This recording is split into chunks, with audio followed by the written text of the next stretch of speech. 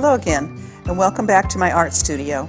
This is Barbara Ryan, and I am an Impressionist landscape oil painter, and I'm going to show today a time-lapse video of a painting I did from a scene that I captured while walking on the riverbank of the Flathead River when I was visiting Montana. It starts with me painting over the charcoal drawing that I made on the canvas at the very beginning. I am using a very thin blue paint to show the lines and shadows that depict the variety of shapes that make up the composition. You can see even in this beginning drawing that the composition is mostly built upon triangles. The foreground land is a triangle and the river is separated by a sandbar that separates it into triangles. The trees on the far bank make a triangle and the mountains in the distance make triangles. So I have arranged all these triangles together to make a pleasing composition.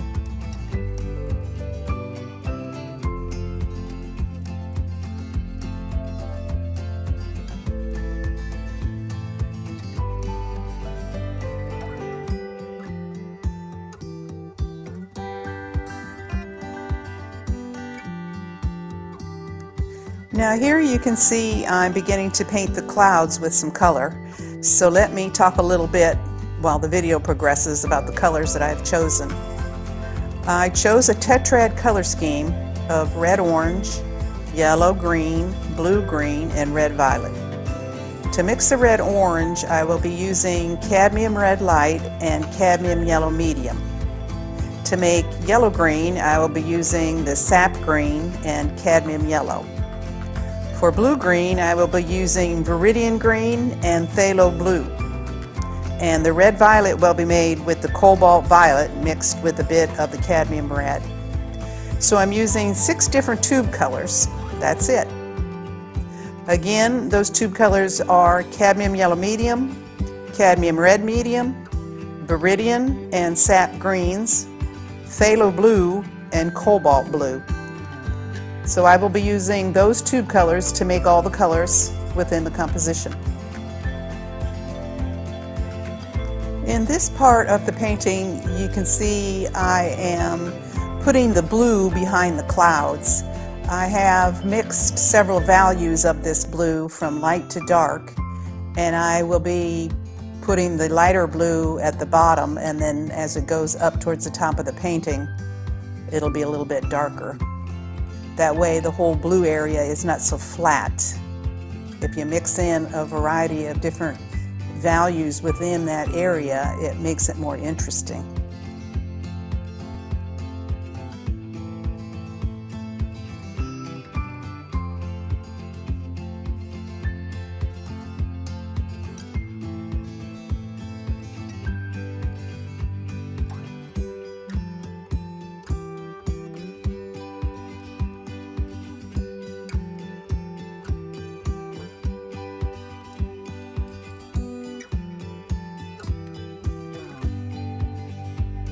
When I start painting in the mountains here, you will notice I am using some of the same colors and values that I used for the sky area.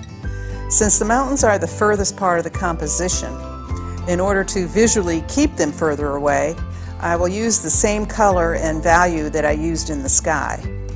In that way, they won't pop out into the foreground and visually will be staying in the distance where they belong.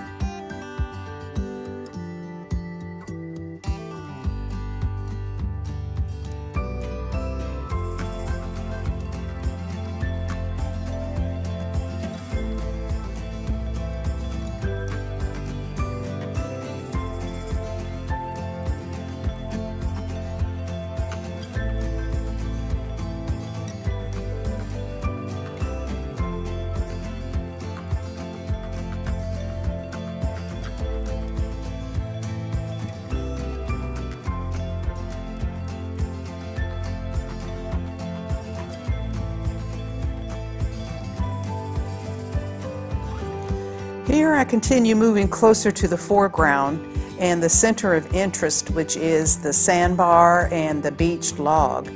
I will be using more vibrant color, more texture, and more detail as I go along, so those areas will stand out and lead the eye into the painting.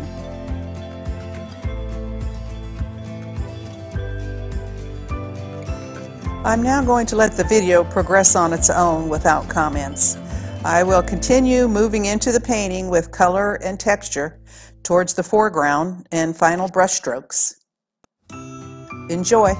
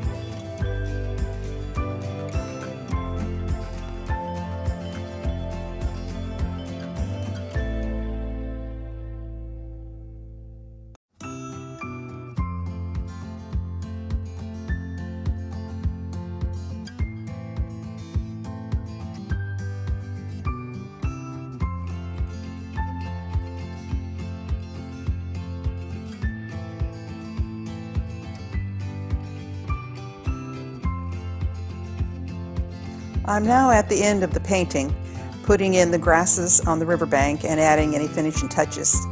You can see I have an area of dark shadow and an area where the sunlight is hitting closer to the water. Other than that, it's just basic linear brush strokes. Impressionistic, yet showing that it is a grassy riverbank. Sometimes impressionistic brushstrokes can be even better than trying to put in specific details. For me, it's definitely more fun. We as artists can sometimes let our viewer decide what they're looking at without trying to paint every tiny little blade of grass and other detail. I believe that's a big part of the Impressionistic method, showing light, texture, and beautiful color within our own artistic vision. My hope is that after watching this video, you become inspired to try this Impressionistic method. Get out your paints and do a beautiful landscape. Here's the finished painting sitting on my easel with a close-up so you can see some of the brush strokes. I'm calling it Riverwalk and it is 24 by 24 inches, oil on canvas. Till next time, happy painting.